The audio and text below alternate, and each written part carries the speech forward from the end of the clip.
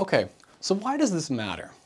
Well, this matters for purposes of insurance because it helps us understand why insurance companies exist in the first place. If they charged the actuarially fair price of insurance, they wouldn't make any money at all and would quickly go out of business.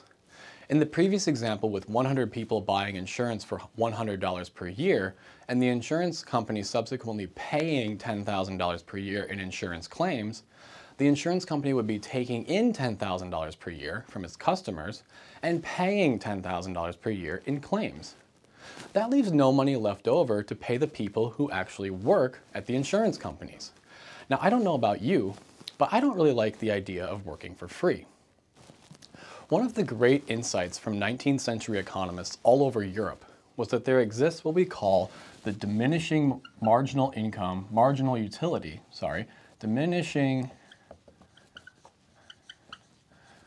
marginal utility of income. now, utility is just a fancy way of saying happiness. The more utility you have, the happier you are. Marginal, again, like we discussed with the pizza, describes how economists think. We don't think about anything as a whole, we think about each additional unit of that thing.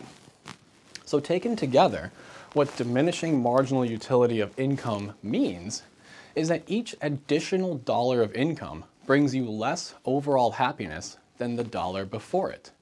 Now this might be a bit too granular, so let's make it a little bit easier.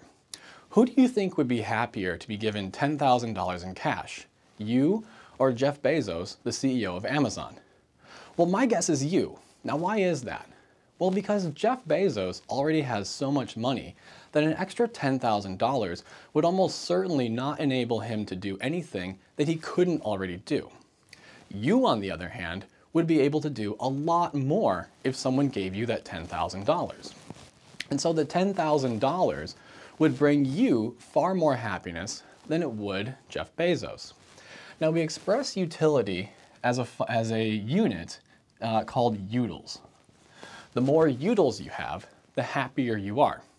So what diminishing marginal utility of income says is that each additional dollar gives you fewer utils than the dollar before it.